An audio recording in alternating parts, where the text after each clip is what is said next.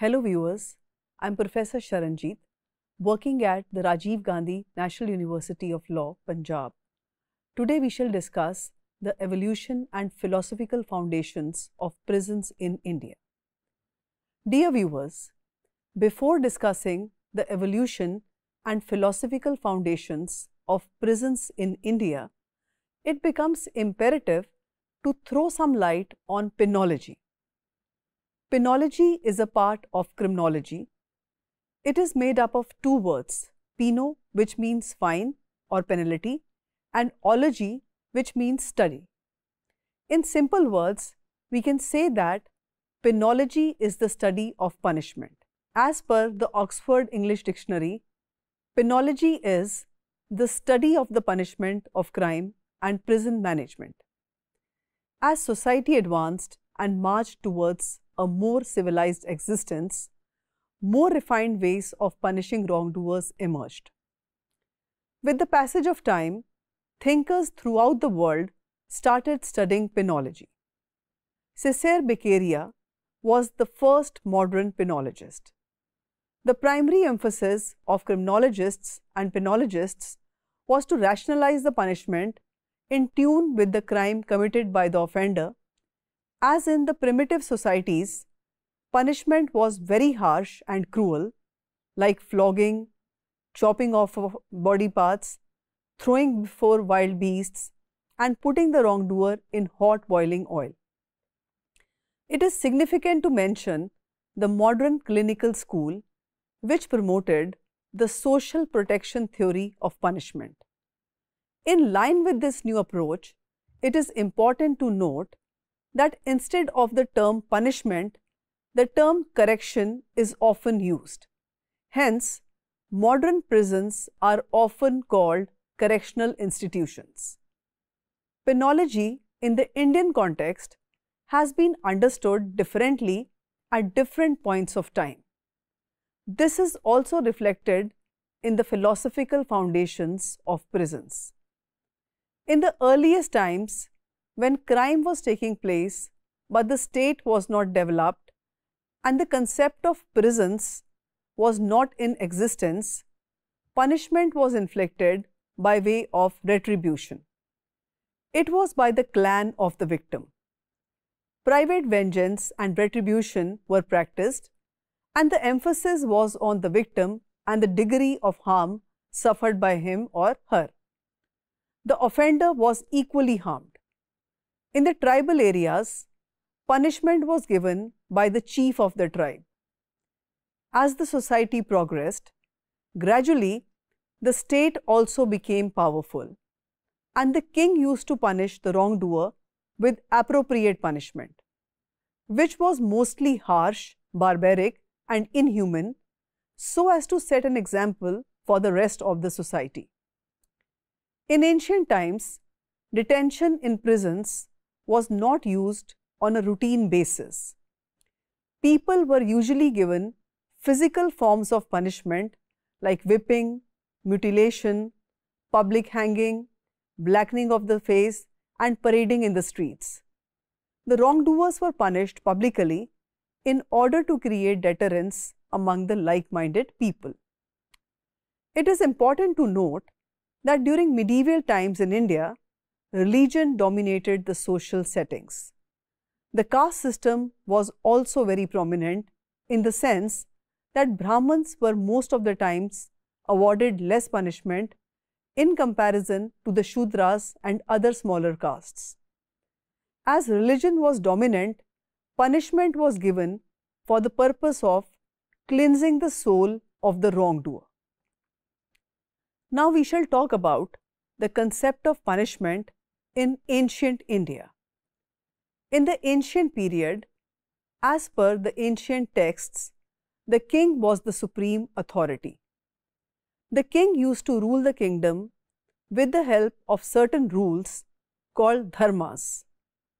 The main dharmas were ahimsa, which is non-violence, satya, which is truthfulness, asteya, which is not coveting the property of others. Shocham, which is purity, and Indriyan Grahana, which is control of the senses. The king was to protect the lives of his subjects and anyone who violated the dharma was punished by the king. Punishment during those times was known as danda. According to Manu, the king was called the Dand Chhatradhari, who is the holder of the danda, and Chhatra means the protector. Emphasizing the importance of punishment, Manu said, Punishment remains awake when people are asleep, so the wise have recognized punishment itself as a form of dharma. In this context, it is important to note that punishment during those times was usually physical in nature and the prison system had not evolved much. Punishments like the death penalty, flogging, throwing before the wild beasts, public hanging and lashing were also given in public in order to keep the people from committing sins and evil deeds. There is a reference to prisons in the Ramayana and Mahabharata. From the religious texts, it can be seen that imprisonment as a mode of punishment was highly practiced in ancient India. The purpose of imprisonment was to separate the wrongdoer from the society. In the ancient text by Manu, there is a mention of Niruta which is imprisonment as punishment for only one particular offense, which is theft of gold belonging to a Brahmin. Whereas in Kautilya's Arthashastra, there are detailed references to the construction of prisons and prison management. References are also found in the ancient texts about the lodging of prisoners of war. Ajat Shatru confined his father Bimbisara to Rajgrah, the capital of Magadha.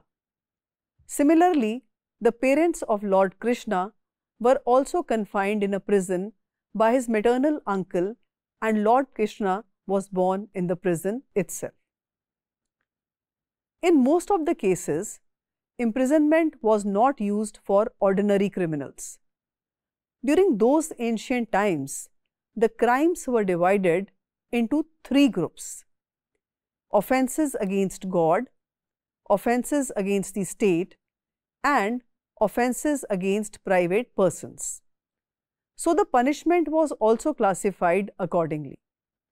The punishment prescribed for all these offences could be death, fines, mutilation of the offender's limbs, corporal punishment, banishment, subjecting to humiliations, whipping, or forfeiture of rank and title, whereas imprisonment was not a normal feature during those times. Some rooms in forts popularly known as Bandi Khanas were reserved for the prisoners. During the period of Muslim rule in India, the Muslim law provided for four types of punishments, namely Kissa, Diya, Had and Tezan. Dear viewers, now we shall talk about the prisons during colonial rule in India. Originally, a trade corporation, the British eventually built up a sizable empire in India. They passed various laws and occasionally established new commissions and committees in order to maintain their control over the nation. Lord Macaulay suggested the creation of the Prison Discipline Committee in 1835 after calling attention to the deplorable circumstances in the Indian jails. The idea that the best criminal code can be of very little benefit to the community unless there is a mechanism for the execution of punishment was emphasized in Lord Macaulay's Commission report of 1830. This served as the ideological cornerstone of the jail system back then. The main recommendations of this report were to abolish outdoor labor, introduce indoor work generally, classify prisoners more accurately, separate indoor prisoners carefully, establish central prisons, and employ inspectors of prisons to regulate the prison system as a whole. For better prison management in the country, the British rulers constituted jail reforms committees from time to time. The first jail reform committee, which was set in 1838, recommended the establishment of a central jail and the placement of inmates serving terms longer than a year in this facility. Additionally, each state should designate a prison inspector who will periodically check on the operation of the state's jails. Thirdly, every jail should have enough living quarters. The subordinate establishments, corruption, the lack of discipline, and the system of using prisoners as extra labor on the public roads were all noted by the committee in the report as the worst forms of treatment this class of people could have ever received from the British government. This first All India Jail Committee denounced the practice of using inmates to build roads, clean drains, and do other labor intensive tasks. The North Province appointed the Inspector General of Prisons for the first time in 1844. The Indian government established it as a permanent position in 1850 and recommended that an Inspector General of Police can be appointed to each province. When the Indian Penal Code was enacted in 1860, incarceration was acknowledged as a type of punishment for majority of the offences. Since the Indian Penal Code called for imprisonment for every offence listed, it played a significant role in reforming the nation's jail system. It is significant to remember that the second jail inquiry committee identified the unhygienic conditions in the Indian prisons as the cause of multiple inmates' illnesses, deaths and ailments.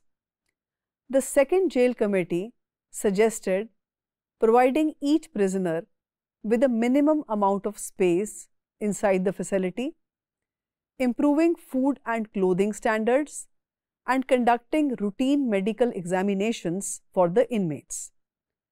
The Northwest Province hired civil physicians as district jail superintendents in 1862. In 1877, the third jail inquiry commission was established. The others were formed in 1889 and 1892. The fundamental goal of the Prison Act of 1894 was to establish national uniformity in the management of the prisons. The Indian Jail Reforms Commission suggested that juvenile offenders be housed in separate facilities named as Borstal schools. This committee concluded that the system of hiring prisoners was unfavorable since it not only allowed for incorrect prisoner classification but also made it challenging to maintain prisoner discipline. The committee suggested that only in cases where the site of the job and the climate were suitable and adequate plans were in place to provide the offenders with water, would such employment of the inmates be approved. Given this, the committee was against the inmates working in canals and building railroad lines because they required the prisoners to be moved resulting in unhygienic living conditions in makeshift shelters and tents. This committee also proposed the idea of open prisons. According to the commission, open prisons and jobs that resembled the ones that released inmates would take after their release were superior and would have a more reformative effect on the offender. It was the first time that the inmates' reformation was given such priority. The committee noted that when it comes to the reformative aspect of jail labor, the Indian prison administration is falling behind. Thus, it has been unable to recognize the prisoner as an individual and has instead thought of him as a component of the state apparatus. It has forgotten the potential effects that humanizing and civilized factors could have on each prisoner's mind. Among the other crucial recommendations were that skilled jail guards should manage the jail. The jailer needs to have previous management experience in a jail. There should be a doctor in every jail. The jail gatekeeper needs to have education. The inmates ought to be divided into habitual and first time offenders and flogging should be outlawed because it is a cruel kind of punishment. It should be allowed for the inmates to send and receive letters. Meetings with friends, family and relatives should be permitted for the prisoner. Two pair of clothes should be given to the prisoner. It is time to put the payroll system into place. Terminally ill criminals ought to be housed apart from the other inmates and they shouldn't be punished by being transferred to the Andaman and Nicobar Islands, often known as Kale Pani ki Saza or transportation for life.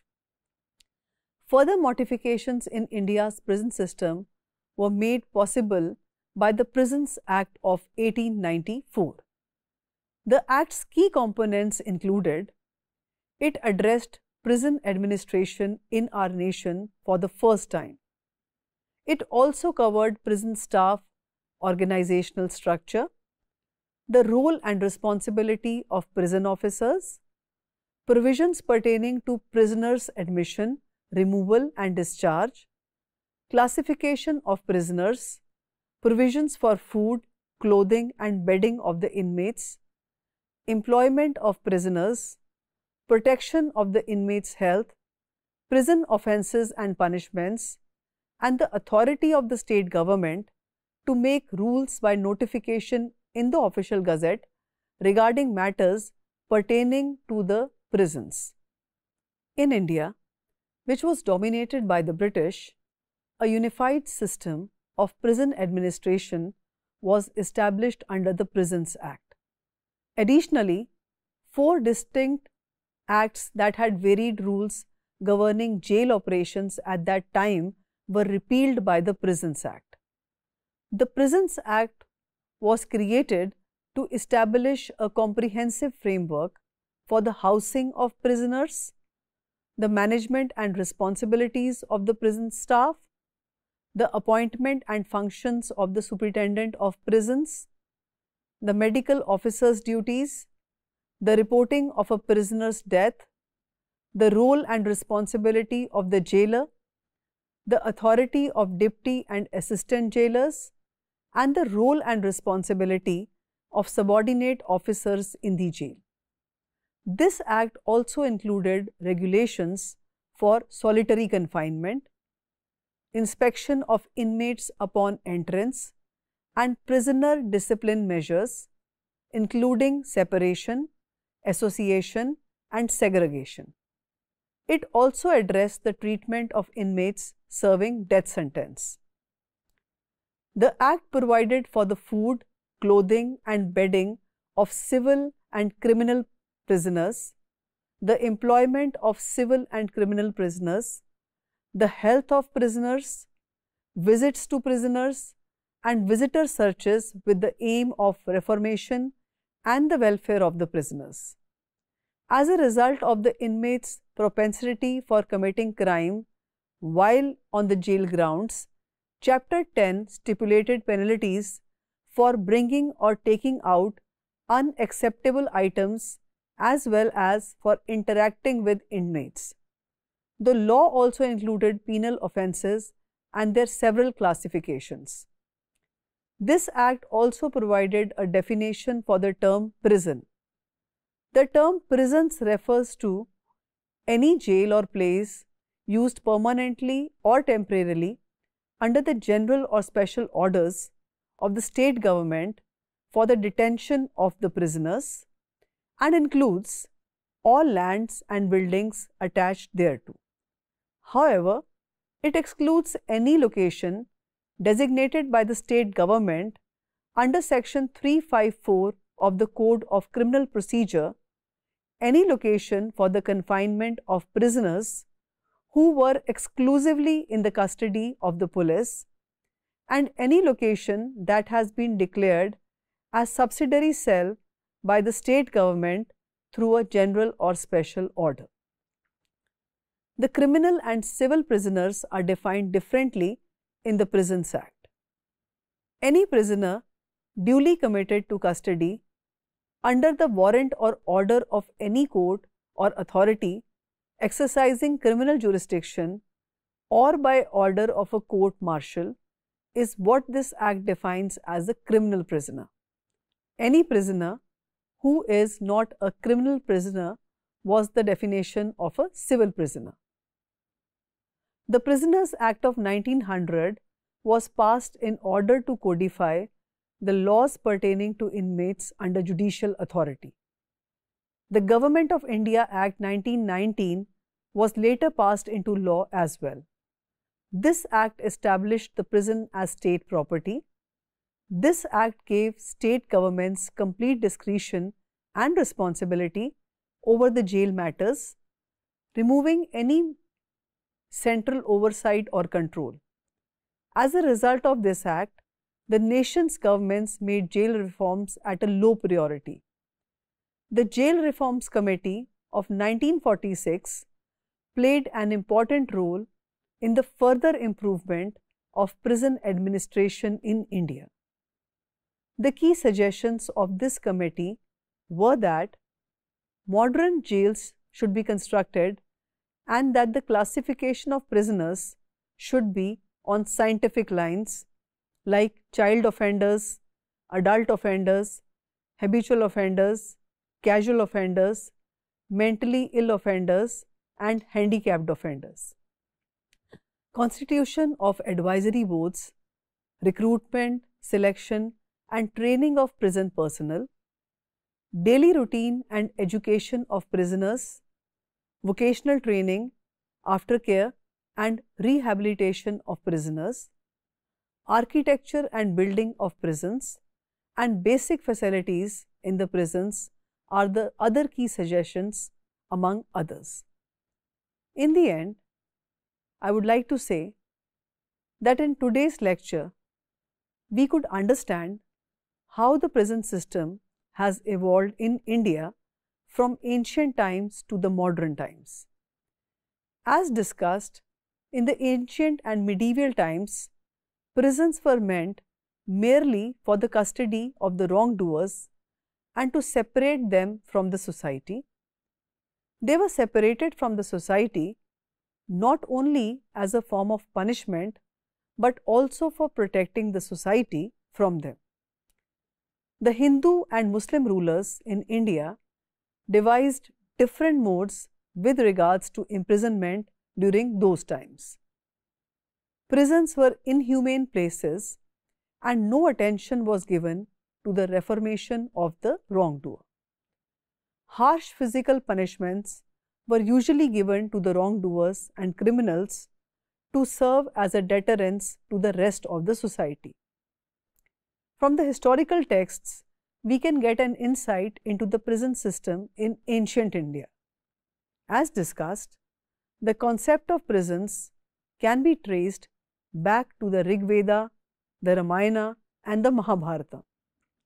However, during those times, imprisonment was not a popular mode of punishing the wrongdoer as physical punishments were given to the wrongdoer and prisons were used only in special and exceptional circumstances. It was only after the arrival of the British in the country that the prison structure was formalized. When the British rulers came to India, they realized that the prison system needed to be changed. With the introduction of the Indian Penal Code 1860, imprisonment became one form of punishment for the majority of the offences under this law. Hence, the British rulers felt the necessity of creating a proper prison system in the country. They set up various committees from time to time in order to understand the need for a robust prison system. Specific legislations like the Prisons Act of 1894 and the Prisoners Act of 1900 were also enacted. Another aspect is that the prisons were meant not only for the custody of ordinary criminals, but also for silencing the freedom struggle. The Indian revolutionaries and freedom fighters were sent to prisons across the country and were also given the punishment of transportation for life, whereby they were sent to Andaman and Nicobar Islands as a form of punishment. With this, we come to an end of today's lecture. Thank you.